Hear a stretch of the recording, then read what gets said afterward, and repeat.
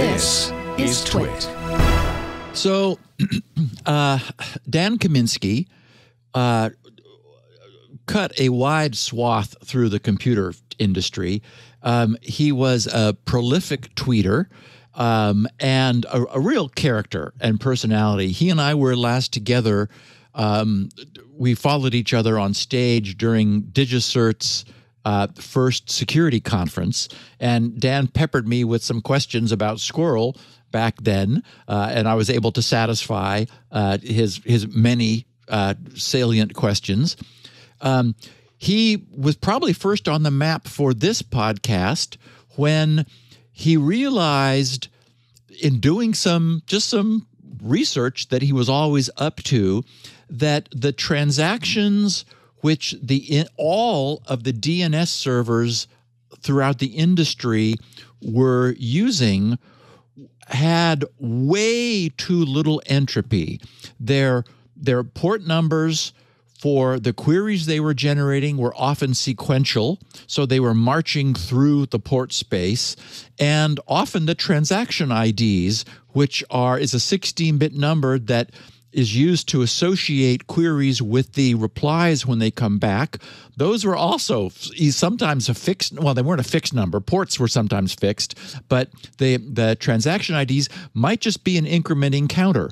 And what Dan realized was that the lack of query entropy being emitted by DNS servers allowed replies to be spoofed. You could ask a DNS server yourself something and see where its counters were, and then induce somebody else to ask it a question and provide a spoofed reply before the real reply would get back.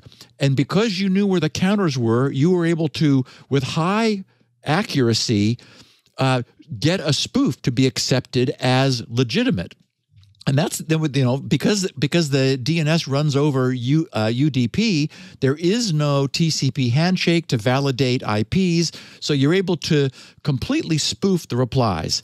So what this meant was if the world were to to realize that as Dan had privately, um, it would be a catastrophe. So Dan privately got in touch with all the purveyors of the various DNS servers.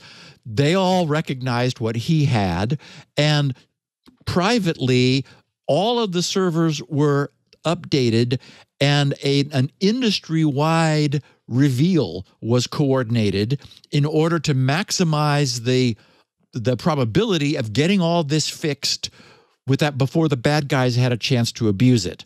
So, uh, and of course, because I recognized this was a problem and we covered it on the podcast, we owe Dan the existence of my DNS spoofability service, which I created in honor of his discovery, which allowed in uh, you know individuals to go to the to GRC's DNS spoofability.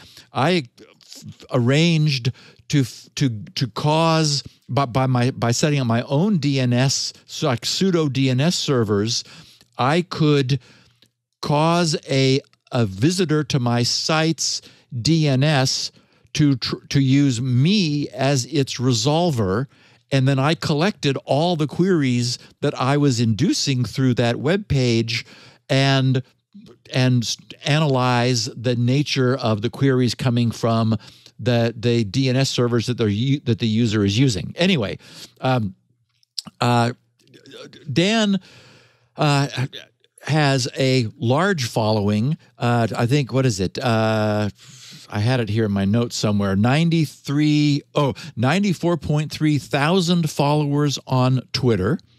Um, he, as I said, he's a prolific Twitter uh, tweeter. He joined Twitter in 2007. Since then, he has posted 130,000 tweets. Now, if we if we assume an average tweet rate over 14 years, that's 9,285.71 tweets per year. Wow. Or an average of 25.42 tweets or commented retweets per day. That's amazing. So if you were following Dan, you you knew what he was thinking and doing. Um, and uh, he was also quite literate. Um, he pinned a tweet of his from January 16th, 2018, to the top of his feed.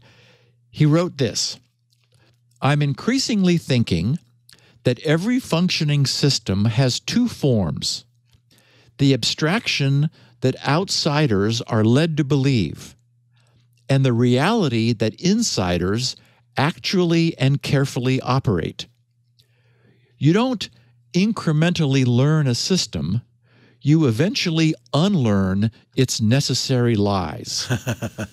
That's really good. So, and I think you it's know, absolutely right. Absolutely. just really, really good stuff. Um, he had a site, dankaminsky.com, which was his personal blog. And he hasn't blogged in about four years. But that he his, his last blog, I'll just share a couple of paragraphs from it.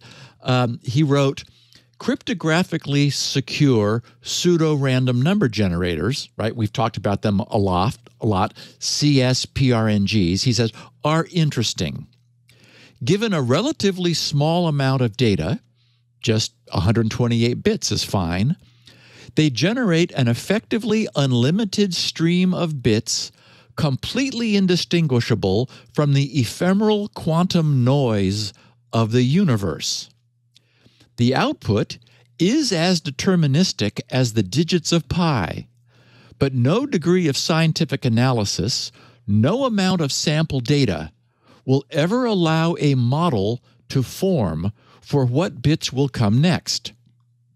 In a way, CSPRNGs represent the most practical demonstration of Gödel's first incompleteness theorem, which states that for a sufficiently complex system, there can be things that are true about it that can never be proven within the rules of that system. Science is literally the art of compressing vast amounts of experimentally derived output on the nature of things to a beautiful series of rules that explains it. But as much as we can model things from their output with math, math can create things we can never model. There can be a thing that is true. There are hidden variables in every CSPRNG, but we would never know. And so, an interesting question emerges. If a CSPRNG is indistinguishable from the quantum noise of the universe, how would we know if the quantum noise of the universe Uh-oh. was not itself Uh-oh. a CSPRNG? Uh-oh. Uh-oh. There's an infinite number of ways to construct a random number generator. What if nature tried its luck and made one more? Would we know? Would it be any good? So, anyway, we have Wow. lost That's a beautiful, beautiful thing. A critical thinker uh, among us who made all manner of contributions to uh, security and the internet. And uh, he was working on some weird JavaScript stuff that I never really tracked. Um, but we have, and I wanted to play it into the podcast so that it is captured, a minute and 45 second video, which he and his young niece produced 13 years ago, uh, niece Sarah, following Black Hat 2008, which was where this the DNS problem uh, was first revealed. Um, so here's and this is fun because his niece is precocious and and and following a script that he produced, but it's they made a really fun minute and minute and 45 seconds. I'm security researcher Dan Kaminsky, and I'm here today with my niece Sarah. Hi, everybody. Hey, Sarah. So Sarah here has an important message for all of you. Fixer DNS is so important and so cool. Well, what's DNS, Sarah? Well, Uncle Daniel, I think you should know. Be that as it may, why don't you tell the people about there a little bit about it?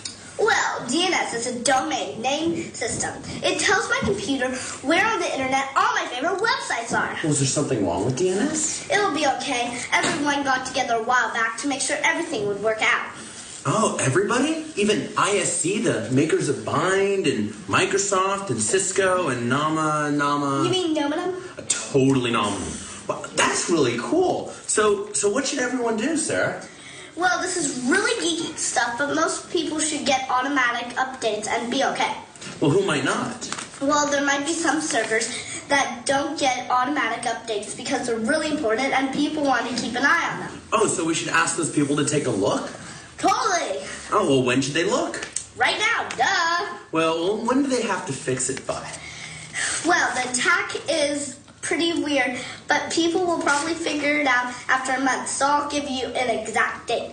August 6th, 2008. August 6th? August 6th. All right, then. Well, is there any way for the non geeks to make sure they're safe?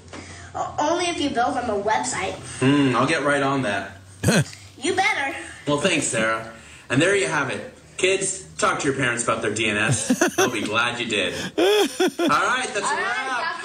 Okay, thanks, cousin Dan, and thank you, Maddie. That is so sweet. Oh my God. Oh, I'm sure they miss him terribly. And of course, Yeah, uh, his friend Steve been- wrote something in assembly to do that, so it was okay. He didn't have to. he didn't have to do that. Wow. Wow. Yeah, very cool. Oh, um, also, missed. uh, DEF CON has announced on their Twitter feed that they're having an online memorial for Dan on Sunday, May 2nd on their on the DEF CON Discord channel discord.gg slash defcon Nice. so uh, they tweeted come share your favorite stories and join us in celebrating the life of a hacker whose life elevated the whole community Wow. Good. yep Uh, thank you for doing that, Steve. Um, yeah. We, of course, we his name comes up all the time on our shows. yeah yeah He'll be missed. yeah good guy